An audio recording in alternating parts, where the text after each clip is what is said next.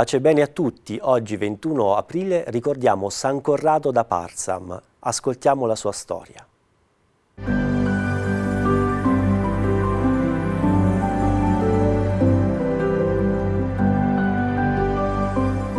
Giovanni nasce il 22 dicembre del 1818 in Parzam, una cittadina della Baviera, penultimo di dodici figli di ricchi contadini molto devoti.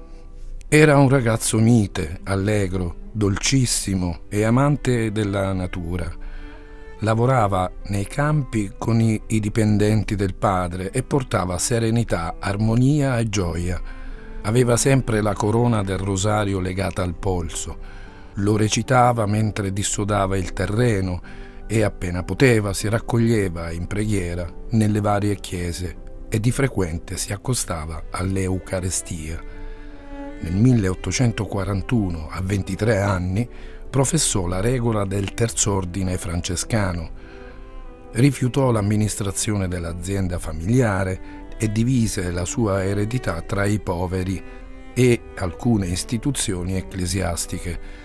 Nel 1849, a 31 anni, entrò in un convento cappuccino come terziario il 4 ottobre del 1852 fece la professione religiosa, consacrandosi al Signore prendendo il nome di Corrado. Da allora fino alla morte e per 41 anni ricoprì l'incarico di portinaio. Fra Corrado svolse il suo compito con zelo, tatto, fedeltà e poche parole.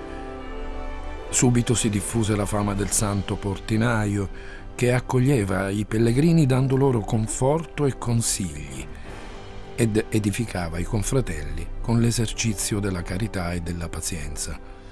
Devoto della Vergine e dell'Eucarestia, aveva il dono della profezia. Distribuiva il cibo ai poveri, agli accattoni, ai garzoni operai, ai ragazzi, andando in cucina a scegliere i pezzi migliori non curante dei richiami a moderare la sua generosità. Tutto ciò che si dà ai poveri ritorna nuovamente indietro con abbondanza. Era la sua risposta ai confratelli. Morì all'alba del 21 aprile del 1894 a 76 anni. Venne dichiarato beato da Papa Pio XI il 15 giugno del 1930 e solo dopo quattro anni, il 20 maggio del 1934, lo stesso pontefice lo proclamò santo. San Corrado è stato un frate cappuccino che ha conquistato tutti perché era molto molto molto accogliente. Nel suo ruolo umile di portinaio nel, del convento, sia quello che era lì preposto all'accoglienza delle persone, tutti lo incontravano quando andavo, andavano a bussare e chi trovavano? Trovavano una persona accogliente, trovavano una persona che sapeva ascoltare, trovavano una persona che sapeva aiutare. Sono questi i tre verbi che io consegno a voi oggi per la santità, forse ispirati alla storia di, di Corrado, Corrado da Parsam colui che si trovava sulla soglia diciamo di un mondo e di una ricchezza e però la porta è colui che ti fa accedere a quel mondo. Pensiamo quindi a tutte le persone che si rivolgono a noi, trovano la stessa apertura, la stessa capacità di essere accolti e io vi ripeto questi tre verbi.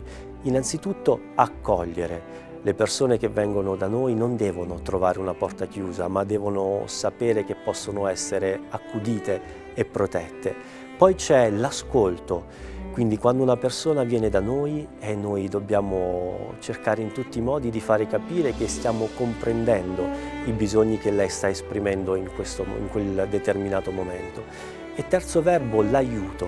Una volta che abbiamo scoperto le difficoltà di qualcuno, di qualche persona, eh, dobbiamo passare anche alla pratica siamo rimasti talvolta ad un concetto diciamo, di cristianità che rimane nel consiglio. Io ti dico come devi comportarti in modo da, da guarire. Invece no, eh, Gesù ha, ha spezzato il pane e anche noi siamo chiamati a fare questo. Quindi sulla scia dell'esperienza di Corrado, umile portinaio, frate cappuccino, ma che ha fatto tanto tanto del bene, ripetiamo questi suoi verbi, accogliere, ascoltare ed aiutare e tramite la sua intercessione speriamo di rendere la nostra vita un po' più santa. San Corrado prega per noi.